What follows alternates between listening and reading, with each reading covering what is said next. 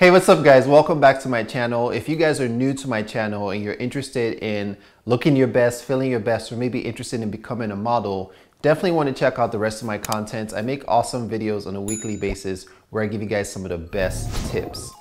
Previously, I gave you guys the top 10 male models in the industry today. Now let's look at the highest paid male models working.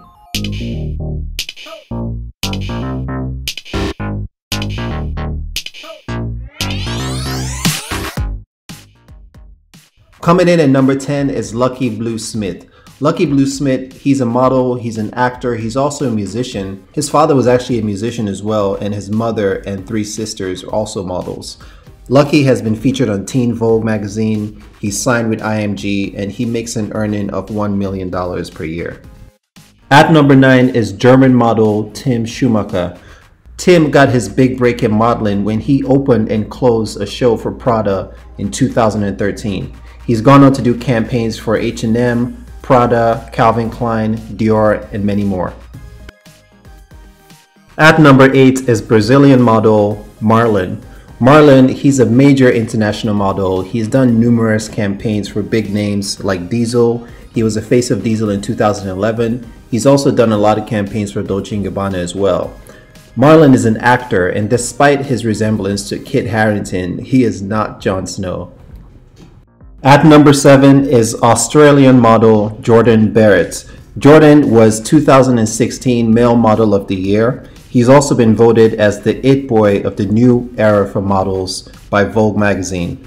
Jordan has an impeccable style and he's also received numerous awards from GQ magazine for his sense of fashion.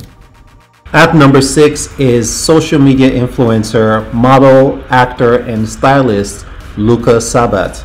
Luka comes from a fashion family. His father was a well-known fashion designer and his mother was a well-known fashion stylist. Luka has been featured on Vogue magazine, Complex. More recently, he's been breaking into the big screens and doing a lot of acting.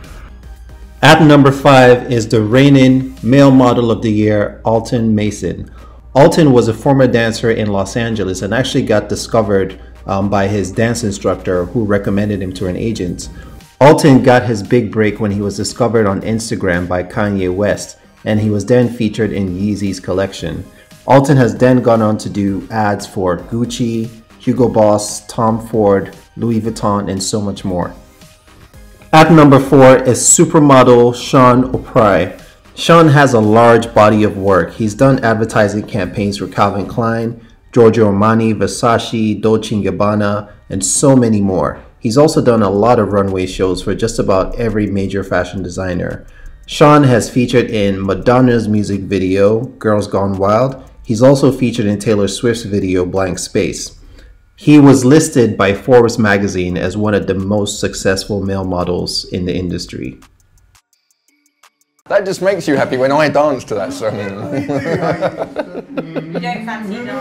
it's not unusual to be loved. At number three is British supermodel David Gandy. David actually began his modeling career when he tried out for a television competition and won. He won for Best Male Model and since then he went on to become the face of Dolce & Gabbana and this is where he got most of his earnings.